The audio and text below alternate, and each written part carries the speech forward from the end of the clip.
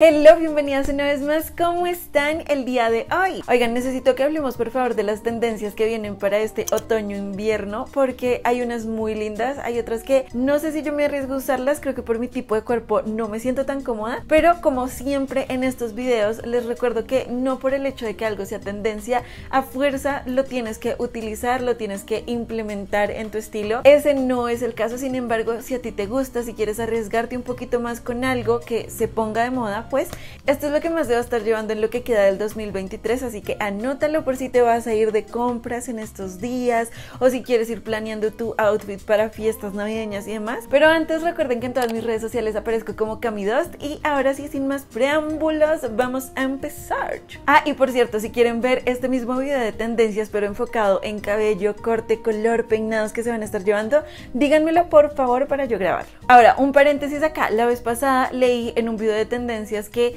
las tendencias no se veían tan nuevas, como que siempre terminábamos usando cosas que ya habíamos usado antes y tengan en cuenta dos cosas. Primero, la moda es cíclica, siempre ha sido cíclica y va a seguir siendo cíclica aunque no nos guste. Sin embargo, esto se ha visto bastante afectado por las industrias y en general por el fast fashion y el ultra fast fashion, ¿ok? Es probable que esto llegue a un punto donde no sea sostenible y volvamos a tener muy pocas colecciones durante el año, pero en este momento donde tenemos tendencias y colecciones saliendo cada 15 días o cada mes, es muy difícil que las prendas no se repitan o que las tendencias no se repitan. Ahora, una tendencia nunca llega exactamente igual a como la vimos anteriormente, pero claro que está inspirada en épocas pasadas. Entonces, sí, básicamente esa es la explicación de por qué seguimos viendo prendas que vimos hace años y que estamos usando ahora. Empecemos con el color de la temporada. Ustedes saben que este año iba a estar reinando el rosa, ya sabíamos que teníamos todo el Barbie encima. Sin embargo, este color cambió, como que mutó un poquito, ¿ok?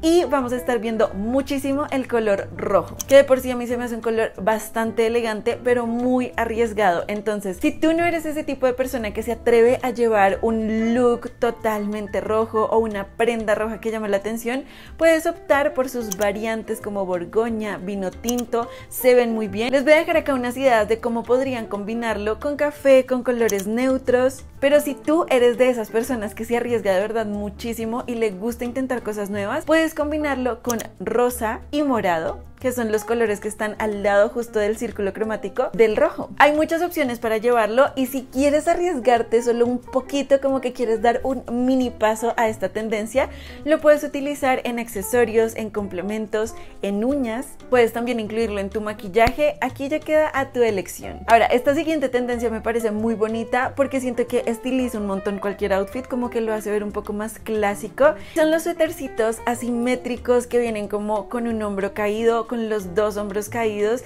Acá les voy a mostrar diferentes referencias para que ustedes lo puedan ver. A mí me parece que se ve hermoso y como les digo, siento que el hecho de que no sea el clásico saquito que te pondrías hace que puedas elevar muchísimo un outfit que por sí puede ser bastante neutro y sencillo, pero a mí esta tendencia de verdad me encanta. Ahora, esto de empezar a mostrar un poquito más los hombros y utilizar todas las cosas como off shoulder, no solo lo vamos a estar viendo en prendas tejidas de lana, sino que también en tops. Tengo que decir que esta tendencia, si bien no es tan cómoda, porque muchas veces cuando la prenda no está del todo bien diseñada, como que alzas un brazo y esto se te sube y te lo tienes que bajar y eso es todo un tema, sin embargo me parece que se ve muy lindo, como que se ve muy femenino y a mí me gusta mucho eso. Entonces ya queda tu elección si quieres empezar a implementar este tipo de prendas. Ahora, algo que vimos mucho en las pasarelas que yo no sé qué tan de acuerdo estoy porque mm, yo soy muy chiquita, ¿ok? Yo mido un metro cincuenta, entonces siento que a mí, por el contrario favorecerme, me queda raro, ¿ok? Se trata de acentuar demasiado la cintura, como lo están viendo acá, con diferentes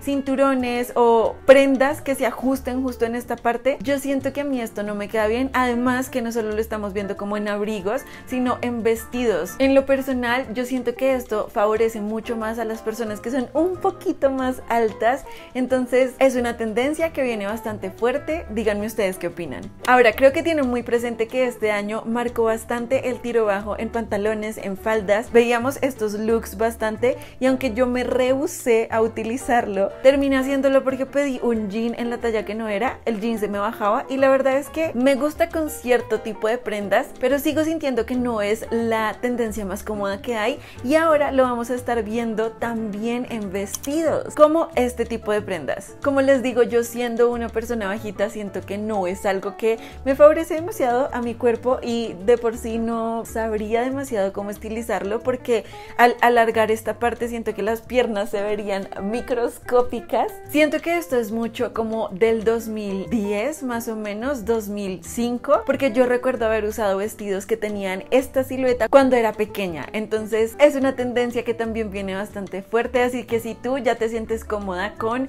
los tiro bajos, pues puedes intentarlo con un vestido. En cuanto a zapatos, vienen reinando las botas en general, pero sobre todo las biker boots tipo las de Miu Miu. Cada vez se ven más en el street style. Creo que no son tan difíciles de combinar, pero si tú no te arriesgas por este tipo de botas o quieres algo más clásico, puedes buscar estas de acá. Algo como unas combat boots, pero más altas. Yo muero por unas de esas, de verdad. Espero poder comprarlas para estos meses que vienen. Ahora, junto con estos zapatos, estamos viendo también los Mary Jane y los Mary Jane en rojo, ¿ok? Como dos tendencias combinadas. Estos zapatos me parecen muy bonitos, me parecen cute. Sé que no a todo el mundo le gustan. Creo que no es algo que sea difícil de llevar, entonces tienes estas opciones. Ahora, otra tendencia que viene como de este estilo motomami son las bomber jackets, pero las bomber jackets de cuero, ¿ok? No como las veíamos antes, tipo más beisboleras, sino estas de acá. Me parecen espectaculares, yo sí soy muy fan, siento que se ven medio retro, muy bonitas y se van a estar llevando bastante en café y en negro. Aunque volvemos al punto, si tú quieres y te arriesgas más a llevar una bomber jacket roja, así tipo de vinipiel, espectacular. En cuanto a accesorios, vamos a encontrar las corbatas, creo que esto ya lo habíamos hablado al inicio de año con las tendencias que venían, pero sí, se siguen llevando mucho. A mí en lo personal me parecen muy bonitas, creo que se pueden combinar con looks para darle como un toquecito diferente. No todo el mundo va a llevar una corbata con un look casual. Me parece que se ve lindo, es medio preppy, entonces aquí van a encontrar algunas ideas de cómo podrían utilizarlas. Ahora, no solo este estilo de corbatas, ¿ok? Sino que también, ya saben que este año han estado muy en tendencias los lazos, los moños, así que pueden implementarla de esta forma. Yo soy fan, soy muy fan, se ve demasiado bonito. Un estampado que vamos a estar viendo mucho en esta temporada es el tartán. Este diseño que es bastante escocés. A mí me gusta mucho cómo se ve en faldas y lo vamos a estar viendo de esta manera, que 100% siento que se ve muy otoñal, entonces si ustedes quieren, si tienen una falda por ahí y no saben cómo utilizarla, acá les muestro algunas opciones. En cuanto a abrigos ya un poco más pesados, vamos a estar viendo dos. Estos que son como de cuero, de vinipiel, pero que tienen por dentro este tipo de ovejero como lana muy gruesita, muy calientita. Siento que se ve muy lindo, pero son prendas bastante pesadas. Y por otro lado vamos a estar viendo las gabardinas, muy largas. Definitivamente son prendas para el frío, bastante invernales, pero a mí me parece que se ve muy bien